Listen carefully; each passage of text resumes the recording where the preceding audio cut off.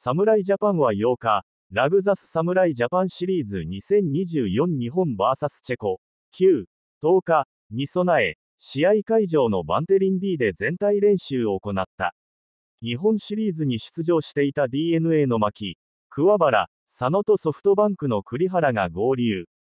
明るい表情で体を動かした。MVP に輝いた桑原は、DNA で仲間を奮い立たせた闘魂注入ミーティングを井端監督に期待されており、思うことがあれば、素直に言おうかなと思います、と前向きだった。